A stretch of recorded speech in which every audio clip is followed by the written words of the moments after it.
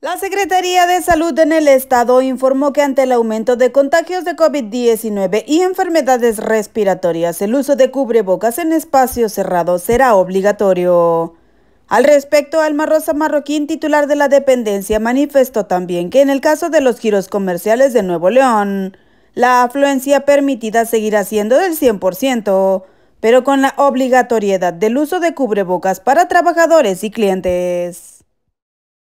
Así es que sometimos al Comité de Seguridad en Salud toda esta información y presentamos las opciones que tenemos. La semana pasada todavía dijimos vamos a estar vigilantes, vamos a recomendar a los lugares donde debe de aplicarse o donde nunca debió relajarse.